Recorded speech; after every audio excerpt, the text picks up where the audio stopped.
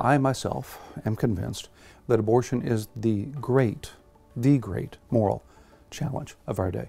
Uh, when you're talking about more than 60 million lives, innocent lives.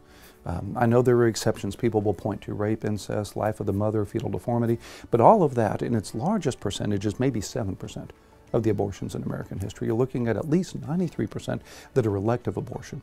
You're looking at people that obviously God loves. He loves us before He made us. He knew us, as Jeremiah says, even before He made us and formed us. And I think that is the great issue of our day. I look at that in the context of the worship of Molech in the Old Testament and the child sacrifice of the day. I believe God is more grieved about abortion than any other single issue in our country.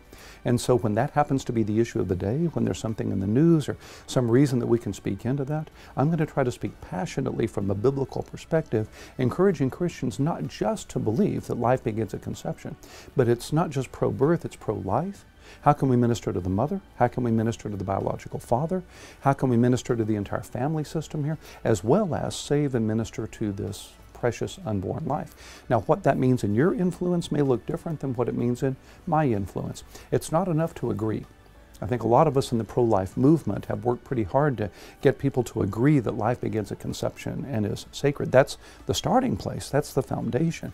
But we've not finished our job simply by convincing people that the Bible's right about that. What do we do as a result?